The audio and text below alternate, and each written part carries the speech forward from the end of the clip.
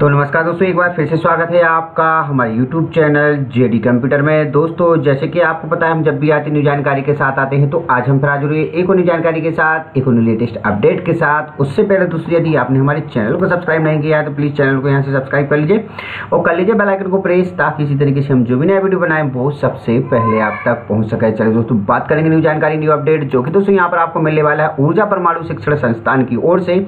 ऑटोमेक energy education society की ओर से दोस्तों यहाँ पर आपको मिलने वाली है भर्ती। भर्ती दोस्तों, यहाँ पर आपको मिलेगी TGT PGT PRT teaching non teaching की आपको यहाँ पर भर्ती मिलने वाली है। तो इससे संबंधित दोस्तों, यहाँ पर हम आपको सारी जानकारी बताएँगे। वीडियो में लास्ट तक जब बने रहिए। चैनल पर नए हो तो चैनल को सब्सक्राइब कर लीजिए। चलिए दोस्तों, यहाँ पर हम बात करेंगे इससे संबंधित सबसे पहले शॉर्ट नोटिफिकेशन की। तो शॉर्ट नोटिफिकेशन दोस्तों, यहाँ पर आपको मिलेगा atomic energy education society E A E S S की ओर से T G T P R T की आपको यहाँ पर भर्ती मिलने वाली है। बात करेंगे दोस्तों, यहाँ पर आपकी फ़ीस की। तो फ़ीस दोस्तों, यहाँ पर जनरल ओबीसी ईडब्ल्यूएस कैंडिडेट को साढ़े सात सौ रुपये की फ़ीस लगने वाली है। एस सी एस टी को यहाँ पर कोई भी फ़ीस नहीं लगेगी। बात करेंगे दोस्तों, यहाँ पर फॉर्म भरने की। तो आज की डेट से दोस्तों, यहाँ पर फॉर्म भरना स्टार्ट हो चुके हैं। लास्ट डेट दोस्तों, यहाँ पर है आपकी 12 जून। 12 जून तक दोस्तों, यहाँ पर आप फॉर्म भर सकते हैं। 12 जून तक ही दोस्तों, यहाँ पर आप अपना पेमेंट कर सकते हैं। और साथ ही दोस्तों एग्ज़ाम डेट और एडमिट कार्ड की डेट नहीं आई है, जैसे ही आएगी हम आपको इससे संबंधित जानकारी ज़रूर देंगे, बात करेंगे एज लिमिट की। तो एज लिमिट दोस्तों, यहाँ पर एक एक 2022 के अकॉर्डिंग मापी जाएगी। मिनिमम एज का क्राइटेरिया नहीं दिया गया है। मैक्सिमम यहाँ पर पीआरटी के लिए 30 साल है। और यहाँ पर टीजीटी लाइब्रेरियन पोस्ट के लिए 35 साल और यहाँ पर आपके लिए पीजीटी के लिए 40 साल एज लिमिट रखी गई है। बाकी age relaxation rules and regulation के अनुसार रहेगा एस सी को यहाँ पर पाँच साल ओबीसी को तीन साल समथिंग यहाँ पर एज रिलैक्सेशन मिलेगा। बात करेंगे भर्ती की।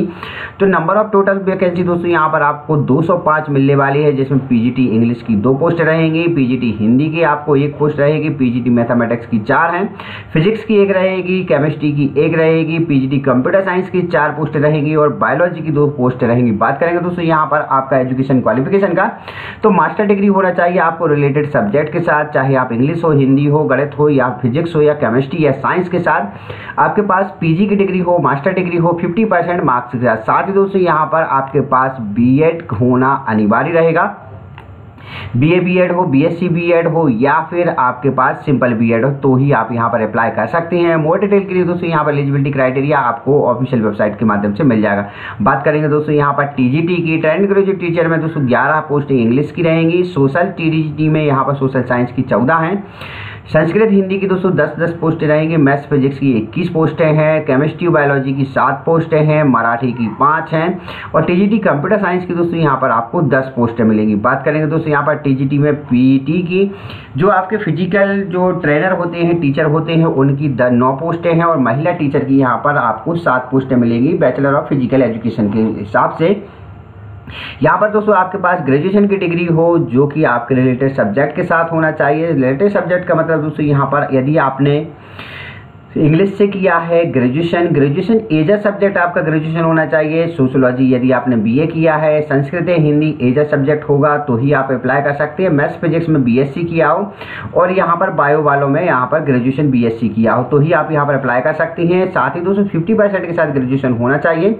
बी या बी ए या बी एस होना आपका यहाँ पर अनिवार्य रहेगा। एमएससी या फिर एमएससी एड डिग्री यदि आपके पास है तो भी आप यहाँ पर अप्लाई कर सकते हैं।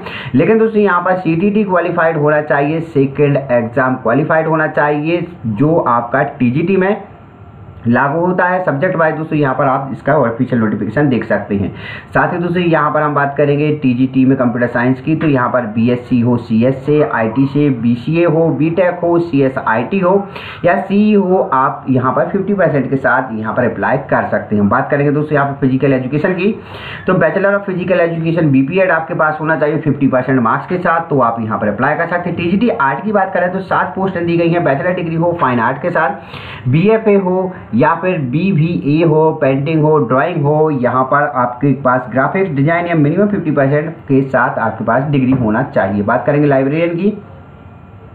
तो आठ पोस्टें दी गई हैं लाइब्रेरियन की बैचलर डिग्री हो आपके पास बीलिप की, या फिर आपके पास वन ईयर डिप्लोमा डिग्री हो लाइब्रेरियन साइंस का फिफ्टी परसेंट के साथ तो यहाँ पर आप अप्लाई कर सकते हैं। पीआरटी के लिए सिंपली तरीके से दोस्तों यहाँ पर आपके पास सत्तर पोस्टें दी गई हैं, जिसमें दोस्तों यहाँ पर आपके लिए दस दन दो बारहवीं क्लास पास आउट मांगा गया है। बारहवीं क्लास फिफ्टी परसेंट के साथ होना चाहिए। मार्क्स हो यहाँ पर इंग्लिश ये एज सब्जेक्ट आपका पढ़ा हो आपने ट्वेल्थ क्लास में।